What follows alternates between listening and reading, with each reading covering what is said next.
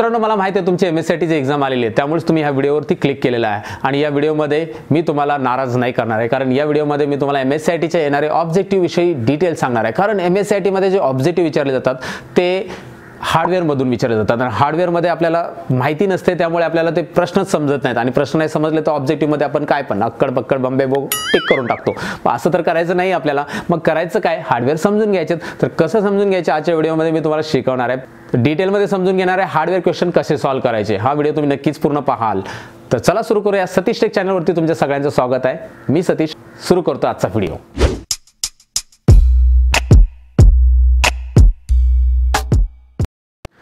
व्हिडिओमध्ये पुढे जाण्यापूर्वी मी तुम्हाला सांगू इच्छितो जर तुम्हाला कम्प्युटरच्या टिप्स अँड ट्रिक्स शिकायच्या असतील आणि कम्प्युटरमध्ये स्मार्ट बनायचं असेल आणि या सगळ्या टिप्स अँड ट्रिक्स मराठीतून हव्या असतील तर तुम्हाला हा चॅनल सबस्क्राईब करायला हवा आणि सबस्क्राईबच्या बाजूला जे बेल आयकॉन दिसतंय त्याच्यावर पण क्लिक करायला हवं. तर चला सुरू करूयाचा टॉपिक तर मित्रांनो M S C I T ऑब्जेक्टिव्हमध्ये येणाऱ्या प्रश्नाविषयी मी तुमच्याशी डिस्कस करणार आहे. कारण एम एस सी आय टीमध्ये जे ऑब्जेक्टिव्ह प्रश्न येतात ते पंधरा मार्क्सचेच असतात आणि त्यामध्ये सहा मार्क्स तुम्हाला पासिंगसाठी पाहिजे असतात. पण हे सहा मार्क्स मिळवण्यासाठी तुम्हाला नाकी नऊ येतात. कारण तुम्हाला हार्डवेअर समजतच नाही. तर हार्डवेअरमध्ये असणाऱ्या सगळ्या गोष्टी आज मी तुम्हाला इकडे सांगणार आहे. प्रॅक्टिकली मी इकडे इमेजेस पण दाखवणार आहे. तर तुम्हाला इमेजेसमधून लवकर समजून येईल मित्रांनो. कारण जर एखादी इमेज मी तुम्हाला दाखवतो तुम्हाला लगेच लक्षात येईल की अरे हा या ऑब्जेक्टिव्हचं आन्सर हे आहे. जर मी तुम्हाला रट्टा मारायला सांगितलं तर तुम्हाला काहीच लक्षात राहणार नाही. तुम्हाला माहिती आहे ना थ्री डेटमध्ये डायलॉग रट्टा मारायचा नाही समजून घ्यायचं. तर चला समजून घेऊया आजचे ऑब्जेक्टिव्ह तर सर्वात पहिलं मी तुम्हाला सांगू इच्छितो कम्प्युटर हार्डवेअरबद्दल. तर कम्प्युटर हार्डवेअरबद्दल इनपुट प्रोसेस आणि आउटपुट हे स्ट्रक्चर लक्षात ठेवायचं. इनपुट प्रोसेस आणि आउटपुट इनपुट डिव्हायसेस कशाला बोलतात? The devices which through we can input the data ज्या डिव्हायसेस थ्रू आपण डेटा इनपुट करतो त्या डिव्हायसेसला आपण इनपुट डिव्हायसेस बोलतो मित्रांनो. बरोबर आहे ना? तर इनपुट डिव्हायसेस कुठले कुठले आहेत? त्याविषयी सांगतो आणि त्याविषयी येणारे प्रश्न पण मी तुम्हाला सांगतो. तर सर्वात पहिला कीबोर्ड आहे. कीबोर्डवरती मी तुम्हाला दाखवू इच्छितो की कीबोर्डवरती वेगवेगळ्या कीज असतात. यामध्ये सर्वात पहिला आहे कॅप्स लॉक नम लॉक आणि स्क्रोल लॉक या तीन कीज मी तुम्हाला दाखवू इच्छितो. या तीन कीज हे लक्षात ठेवायचं या तीन कीजला बोलतात टॉगल कीज का? तर याला टर्न ऑन आणि ऑफचे फीचर्स असतात. म्हणजे मी कॅप्सलॉक बटन ने ऑनही करू शकतो कॅप्सलॉक कॅपिटल टाईप करण्यासाठी आणि स्मॉल टाईप करण्यासाठी. तसंच मी स्क्रोल लॉक आणि नम लॉक पण यूज करतो. तर हे बटन असं आहे की त्यानेच ऑन होतं आणि त्यानेच बंद होतं. म्हणून त्याला बोलतात आपण कॅप्सलॉकला टॉगल कीज जर तुम्हाला ऑब्जेक्टिव्हमध्ये प्रश्न आला these are the toggle keys तर तुम्ही हे तीन कीज लक्षात ठेवायचे. कॅप्सलॉक नम लॉक आणि स्क्रोल लॉक मित्रांनो हे लक्षात ठेवा. कारण कंट्रोल ही टॉगल की नाही आहे कधी कधी कंट्रोल पण तुम्हाला विचारलं जातं कंट्रोल टॉगल की नाही आहे कॅप्स लॉक आहे नम लॉक आणि स्क्रोल लॉक आहे. तर कीबोर्डवरती ही माहिती तर मी तुम्हाला दिलेली आहे. आणि कीबोर्डवरती न्युमरी कीज कुठे आहेत ते मी दाखवतो. याला न्युमरी कीज बोलतात. आपल्याला तुम्हाला स्क्रीनवरती दिसतंय. न्युमरी कीज आणि नंबर्स पॅकेज कीबोर्डवरती वरती न्यूमरिक कीज कुठे आहेत हे तुम्हाला दिसतंय वरती. अल्फा कीज कशाला बोलतात? अल्फानिमरी कीज लक्षात ठेवायचे. कीबोर्डवरती कॉम्बिनेशन कीज कशाला बोलतात? जेव्हा आपण कंट्रोल आणि ए असं काहीतरी प्रेस करतो त्याला कॉम्बिनेशन कीज बोलतात. तर कंट्रोल बरोबर जर एखादी की आपण प्रेस करतो त्याला कॉम्बिनेशन की बोलतात. हे लक्षात ठेवायचे. आणि कीबोर्डवरती फंक्शन कीज जे special purpose special accounting purpose वगैरेसाठी यूज केलं जातं तर त्याला बोलतात फंक्शन कीज तर तुम्हाला विचारलं की F one to F twelve म्हणजे काय? तर फंक्शन कीज हा सिंपल उत्तर असणार आहे त्याचं. तर तुम्हाला इकडे लक्षात येईल की या ऑब्जेक्टिव्हमध्ये तुम्हाला समजून आलं असेल की मी कीबोर्डची माहिती दिलेली आहे. कीबोर्डवरती तुम्हाला बऱ्याचशा कीज मी ते सांगितलेले आहेत. पण अल्फाबेटिक कीज माहीत आहेत का कुठे आहेत? अल्फाबेटिक कीज हे एस डी पॅटर्न मधले आहेत. हे दिसतं तुम्हाला ए बी सी डी हे सर्व अल्फाबेटिक कीज आहे मित्रांनो. तर अल्फाबेटिक कीज बरोबर ॲरो कीज पण पाहून घ्या. इथे ॲरो कीज मिळतात. तुम्हाला आणि कीबोर्डवरती राहिलेल्या आहे एक्स्ट्रा कीज तर एक्स्ट्रा कीज पण तुम्हाला मिळतात. तर कीबोर्डवरती या सर्व कीज असतात आणि यावरती जर तुम्हाला प्रश्न आला कुठल्या कीज आहेत तर तुम्ही सांगू शकता की F one to F twelve function keys आहे. झिरो टू नाईन यांना न्यूमरिक कीज बोलतात. तर कीबोर्डशी येणारा जो प्रश्न आहे ह्यामध्ये तुम्हाला क्लिअर झाला असेल नक्कीच. आता मी तुम्हाला माऊस विषयी सांगतो मित्रांनो. माऊस वरती येणारा प्रश्न काय तो मी पहिला सांगतो तुम्हाला. माऊस वरती येणारा प्रश्न असा आहे की it can access any part of the screen dash is can access any part of the screen dash तर माऊस माऊस काय करू शकतो? कुठल्याही पॉईंट म्हणजे आपण स्क्रीनचा कुठलाही कॉर्नर ॲक्सेस करू शकतो. तुम्हाला माहितीच असेल माऊस मूव्ह करू शकतो आपण तर कुठेही स्क्रीनवरती जाऊ शकतो. तर त्यामुळे माऊस विषय हे लक्षात ठेवायचं की हा स्क्रीनवरती आपण कुठलाही पार्ट ॲक्सेस करू शकतो. ते माऊस पॉईंटरला आपण ॲरो पॉईंटर पण बोलतो माऊस पॉईंटरही बोलतो. स्क्रीनवरती माहिती असेल तुम्हाला मूव्ह करतो आपण.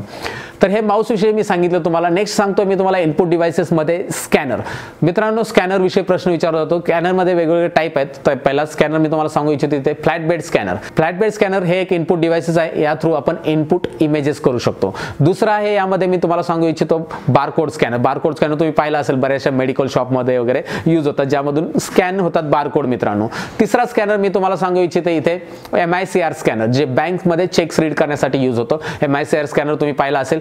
नेक्स्ट स्कॅनर आहे ओ एम आर स्कॅनर जो O M R sheets read करण्यासाठी ओ एम आर सीट आणि आन्सर शीट्स वगैरे असतात. जसं तुम्ही स्कॉलरशिपची एक्झाम जर दिली असेल तर तुम्हाला नक्कीच माहिती असेल स्कॉलरशिपमध्ये आन्सर आपण तिकडे राऊंड राऊंड राऊंड आन्सर करतो. तर त्यामध्ये ओ एम आर शीट्स हा स्कॅनर यूज होतो. तर असे स्कॅनर वेगवेगळे आहेत. यामध्ये फ्लॅटबेड स्कॅनर तुम्हाला माहिती पडलाय बार कोड स्कॅनर काय M I C S scanner काय ओ एम आर स्कॅनर आणि आणखी एक स्कॅनर आहे ओ सी आर स्कॅनर मित्रांनो. ओ सी आर आणि ऑप्टिकल कॅरेक्टर रेकग्नायझेशन एक कॅरेक्टर रीड करण्यासाठी ओ सी आर स्कॅनर होतो. याच्या सगळ्यांचे इमेजेस मी तुम्हाला स्क्रीनवरती दाखवले तर तुम्हाला हे स्कॅनर नक्की समजले असतील. ओ एम आर स्कॅनर कशासाठी यूज होतो? ओ सी आर कशासाठी? एम आय सी आर कशासाठी? आणि याच्यानंतर याच्यावरती येणारे प्रश्न जर आले तर तुम्ही इझिली आन्सर करू शकता नक्कीच. यानंतर मी तुम्हाला सांगू इच्छितो इनपुट डिव्हायसेसमध्ये आहे web camera web camera through आपण लाईव्ह पिक्चर्स वगैरे इनपुट करू शकतो लाईव्ह चॅटिंग वगैरे करू शकतो. आणि त्याचबरोबर लाइट पेन ही लक्षात ठेवा इनपुट डिव्हायसेसमध्ये ज्याने डिजिटल सिग्नेचर लाइट आपण सिग्नेचर करू शकतो. जसं तुम्ही लायसन ऑफिसमध्ये गेलात तर तुम्हाला तिकडे पॅडवरती सिग्नेचर करावं लागते. त्या पेनने तर ऑटोमॅटिकली ती कम्प्युटरमध्ये दिसते. तर त्याला लाइट पेन डिव्हाइस बोलतात. आणि याचबरोबर फास्ट गेम खेळण्यासाठी आपण इनपुट डिव्हायसेस जे यूज करतो ते आहे जॉयस्टिक मित्रांनो. जे स्क्रीनवरती तुम्हाला दिसतंय. तर तुम्हाला क्वेश्चन आला dash is use to play the fast games simple answer आहे. जॉयस्टिक तर इनपुट डिव्हायसेसविषयी हे जे प्रश्न आहेत हे नक्कीच तुम्हाला समजले असतील. आता हे इनपुट डिव्हायसेसचं झालं. तर यामध्ये आउटपुट डिव्हायसेसचे प्रश्न आपण पाहूया. आउटपुट डिव्हायसेस सगळ्यात अगोदर मी तुम्हाला सांगू इच्छितो मॉनिटर मित्रांनो. तर मॉनिटरमध्ये दोन टाईप आहेत मित्रांनो. एक आहे L C D L E D L C D liquid crystal display ज्यामध्ये लिक्विड असतं डिस्प्ले करण्यासाठी. जर तुम्ही एल सी डी स्क्रीनवरती प्रेस केलं तर तुम्हाला लिक्विड दिसून येणार. आणि L E D light emitting diode light emitting diode याने ज्याच्यामध्ये डायोड्स असतात स्मॉल डायोड असतात ज्या थ्रू तुम्हाला डिस्प्ले होतं. एल ई डीमध्ये थोडीशी इलेक्ट्रिसिटी कमी लागते. एल सी डीमध्ये जास्त लागते. त्यामुळे आजकाल एल ई डी म्हणजे एल सी डी जागेवरती एल ई डी रिप्लेसमेंट झालेत. तर एल ई डी आणि एल सी डी हा एक आउटपुट डिव्हायसेस हा कॉमनली आउटपुट डिव्हायसेस मॉनिटरमधून जे आउटपुट मिळतं ते सॉफ्ट कॉपी असतं. तुम्हाला एक क्वेश्चन विचारला जातो. Monitor gives dash type of output soft copy soft copy का? आता आपण एडिट करू शकतो. आणि जर प्रिंटरमधून आउटपुट आलं तर ते हार्ड कॉपी असतं. तुम्ही ऐकलंच असेल कधी कधी प्रिंटरवाला बोलतो किती हार्ड कॉपी देऊ. हार्ड कॉपी म्हणजे काय? प्रिंट आउट्स सिंपल आहे मित्रांनो. प्रिंटरमध्ये येणारा आउटपुट हार्ड कॉपी आणि मॉनिटरमध्ये येणारा आउटपुट काय असणार आहे? सॉफ्ट कॉपी हे लक्षात ठेवायचं पण प्रिंटरमध्ये एवढंच नाही. प्रिंटरमध्ये चार वेगवेगळे टाईप्स असतात आणि त्याच्याविषयी पण तुम्हाला प्रश्न येऊ शकतो. तर चार टाईप्स मी सांगतोय आणि लक्षात घ्या इमेजेस पण दाखवतो इकडे तुम्हाला. तर प्रिंटरमध्ये सर्वात पहिला टाईप मी तुम्हाला सांगू इच्छितो की त्यामध्ये आहे प्रिंटर ज्यामध्ये इंक असते आणि इंक पेपरवरती स्प्रेड होते जे कलर फोटोज वगैरे प्रिंट करण्यासाठी यूज होतो. त्याला आपण इंकजेट प्रिंटर बोलतो. जर आपल्या ऑफिसमध्ये प्रिंटर पाहिला असेल तुम्ही तर तिकडे टोनर प्रिंटर असतात जास्त करून. तर टोनर प्रिंटर म्हणजे लेझर प्रिंटर आपण बोलतो मित्रांनो. लेझर प्रिंटरचं इमेज तुम्हाला दिसते स्क्रीनवरती. तर लेझर प्रिंटर लेझर टेक्नॉलॉजीने प्रिंट होतं. Dash printer use to laser technology while printing laser printer simple answer आहे मित्रांनो. जर असा प्रश्न आला तर तुम्ही उत्तरही लगेच देऊ शकता. लेझर प्रिंटरविषयी मी तुम्हाला सांगितलं आणि इंकजेट प्रिंटरविषयी क्वेश्चन काय येऊ शकतो तो पण सांगतो तुम्हाला. इंकजेट प्रिंटरवरती असा प्रश्न येऊ शकतो जसं की तुम्हाला विचारलं जाऊ शकतं.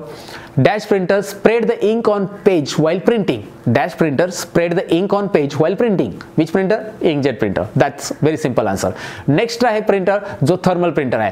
ज्यासाठी special heat sensitive paper use होतो. त्याची इमेज तुम्हाला दिसते आणि तुम्हाला माहिती आहे बस कंडक्टर्स वगैरे किंवा हॉटेलमध्ये तुम्ही जाता तर बिलिंगला जे प्रिंटर यूज होतात ते थर्मल प्रिंटर असतात मित्रांनो. मग याविषयी येणारा प्रश्न काय एम एस आय टीमध्ये dash printer use a special heat sensitive paper तर कुठला प्रिंटर आहे जो special heat sensitive paper use करतो? थर्मल प्रिंटर दॅट्स इट एकदम सिंपल आन्सर आहे आणि तुम्हाला थर्मल प्रिंटर विषय समजला असेल. लास्ट प्रिंटर मी तुम्हाला सांगू इच्छितो त्याचा टाईप आहे डॉट मॅट्रिक्स प्रिंटर मित्रांनो डॉट मॅट्रिक्स प्रिंटर हा तुम्ही पाहिला असेल रेल्वे काउंटरवरती तिकीट बुकिंगसाठी किंवा स्कूलमध्ये पण असायचं. आपल्या स्कूलमध्ये जेव्हा आपण लहान होतो तेव्हा मी लहान होतो तेव्हा असायचा. तुम्ही लहान असाल तेव्हा माहीत नाही मला. पण डॉट मॅट्रिक्स प्रिंटर मित्रांनो होता.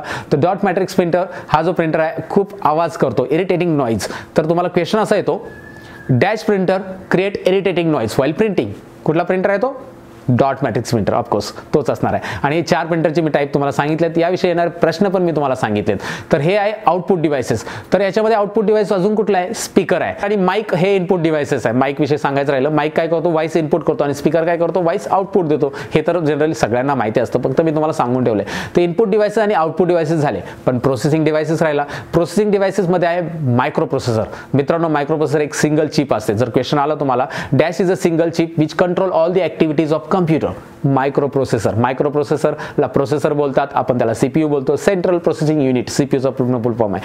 पण हा सीपीयू कुठे लोकेटेड असतो? तो असतो मदरबोर्डवरती आणि तुम्हाला मदरबोर्डची इमेज दिसते मदरबोर्डवरती कुठे लोकेटेड असतो मी हायलाईट करून दाखवले तर या मदरबोर्डवरती लोकेटेड असणारा जो सीपीयू आहे हा सीपीयू पी सीपीयूचे जे सर्व फंक्शन आहेत हे मदरबोर्ड कॉर्डिनेट करतं. इव्हन मदरबोर्ड सगळ्या डिव्हायसेसला कॉर्डिनेट करतं म्हणून याला सिस्टम बोर्ड सर्किट बोर्ड आणि मदरबोर्ड बोलतात. आता मदरबोर्ड नाव का आलं असेल तुम्हाला समजलंच असेल. आपल्या घरात सगळ्या रिलेशनला कॉर्डिनेट कोण करतं? आपली आई.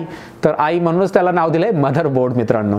तसा फादर बोर्ड तर आहे ना याच्यामध्ये लक्षात राहते नाही तर मला एक माझ्या विद्यार्थ्यांनी प्रश्न विचारला होता सर फादर बोर्ड कुठे आहे? फादर बोर्ड आहेच नाही मित्रांनो. पण मदर बोर्ड आहे. तर हे मदर बोर्ड विषयी समजून घ्या नक्कीच. तर मदर बोर्ड विषयी मी तुम्हाला सांगू इच्छितो की काय प्रश्न येतो? Dash is a system board or circuit board motherboard it is a system board or circuit board हे लक्षात ठेवायचं तुम्हाला. मदर बोर्डला सिस्टम बोर्ड बोलतो आपण सर्किट बोर्ड बोलू शकतो.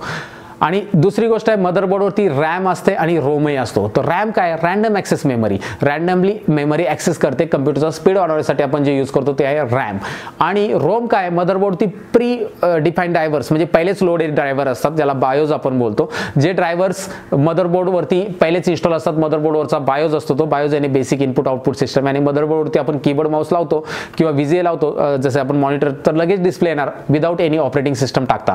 तर आपल्याला डायरेक्ट डिस्प्ले येतो. म्हणजेच आपल्याला रोम मधून डिस्प्ले येतो. रोम ही रीड ओनली मेमरी असते. याचा फुल फॉर्मच जास्तीत जास्त तुम्हाला विचारला जाऊ शकतो. आणि रॅम ही रॅन्डमली ॲक्सेस मेमरी असते जे कम्प्युटरचा स्पीड वाढवण्यासाठी यूज केली जाते. ते मदरबोर्डवरतीच लोकेटेड असते. पण या मदरबोर्डला जो पॉवर सप्लाय करतो त्याला पॉवर सप्लाय असं बोलतात आणि एस एम पी एस पण बोलतात.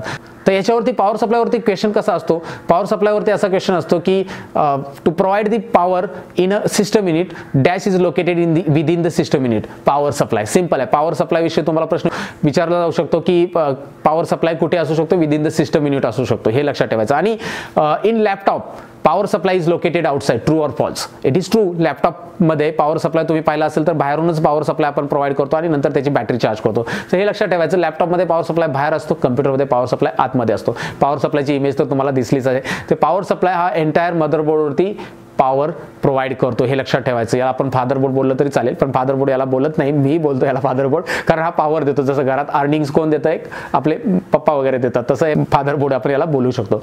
तर फादर बोर्ड समजला असेल तुम्हाला नक्कीच. आणि आता पुढे वळूया. यामध्ये तुम्हाला मी सांगू इच्छितो की हार्ड डिस्क विषयी. हार्ड डिस्क विषयी येणारे प्रश्न काय आहेत? हार्ड डिस्कमध्ये जे डेटा स्टोरेज होतो तो तुम्हाला ट्रॅक अँड सेक्टरमध्ये स्टोरेज होतो. इमेज दिसते तुम्हाला. या ट्रॅक म्हणजे सर्क्युलर पाथ इमेजमध्ये दिसते ट्रॅक म्हणजे सर्क्युलर पाथ आणि याच्यावरती वेज सेफ सेक्शन म्हणजे सेक्टर मित्र. मित्रांनो या सेक्टर आणि ट्रॅकवरती डेटा रेकॉर्ड होतो आणि तुम्हाला विचारलं जातं base section on hard disk is called dash dash what is that sector आणि circular path on hard disk is called track तर असे प्रश्न येतात जे हार्ड डिस्कवरती आपण डेटा स्टोअर करतो त्याच्यावरती कसा स्टोअर होतो हे तुम्हाला इमेजमध्ये दाखवले. हार्ड डिस्क हा डेटा स्टोअर करण्यासाठी यूज होतो हे तुम्हाला माहिती असलं पाहिजे.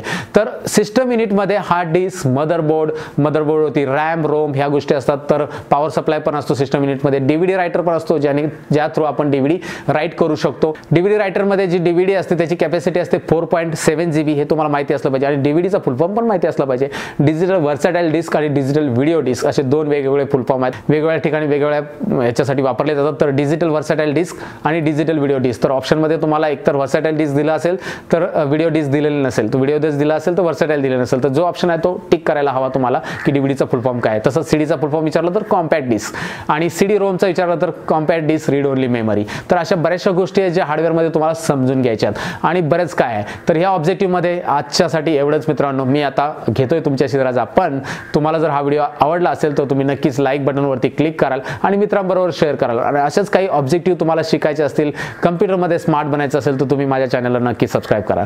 तर चला भेटूया नवीन ऑब्जेक्टिव्हमध्ये किंवा नवीन काही कम्प्युटर ट्रिक्समध्ये मी सतीश घेतो तुमच्याकडून रजा.